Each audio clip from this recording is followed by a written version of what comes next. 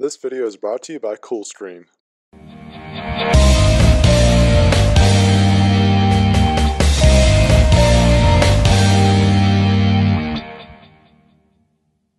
Hey guys, Joshua Bane Tech, and I've got Anker's 1600 milliamp hour battery. This is the Astro E5 external battery. This is a really, really big battery. It's probably the largest size that I've ever owned. So let's go ahead and take a look at the box. I've done some testing with this battery so I can tell you what the performance is like as well. But I want to show you what comes in the packaging as well so you know what to expect all the way around. So on the front you got your preview of the product. You got the bottom, on the back a QR code and then also some of the other products that they provide which is you know power interface, USB hubs, protection and sound. And you can find more information at ianker.com. This here is just some more information about the Power IQ. You got the battery itself. I'll just put it off to the side for a second so I can show you what else comes in the packaging. You get a nice little carrying bag here so you can put your USB cable and the battery in together. You also get a USB cable, but I haven't put it back in the box because I've been using it. Alright, so let's talk about the battery for a little bit. One, again, it's 1600 milliamp hours. That's a lot, a lot of juice. This thing's going to be able to charge if let's say you got one device, it's going to be able to charge it quite a few times. Or if you got a couple of devices, you can charge them two at the same time.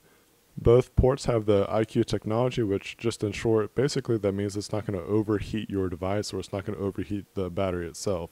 So it's going to protect your device so it doesn't overcharge or put out any kind of outage that you don't need going in or out of the device.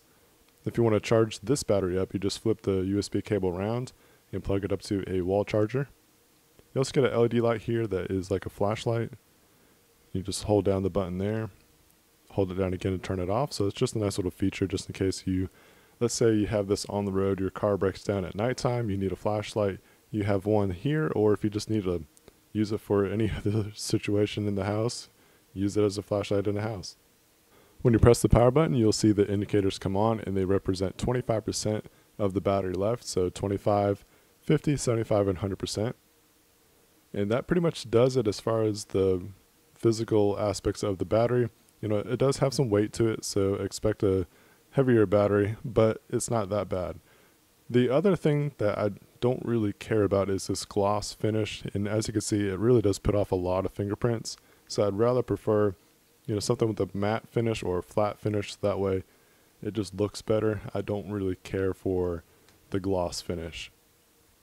So while I was testing this out, I was able to charge quite a number of devices. I charged my PS4 controller, a couple phones, my iPad, and even my Moto 360 watch, all off of this. So it's really cool that I can get uh, pretty much all of those things charged up off of just one charge. It's pretty stinking awesome if you ask me because I, I don't know, like sometimes I just like to use these battery packs as my charger because it's more portable I really like having this in my travel bag or just my work bag because I'm able to have uh, basically an emergency backup.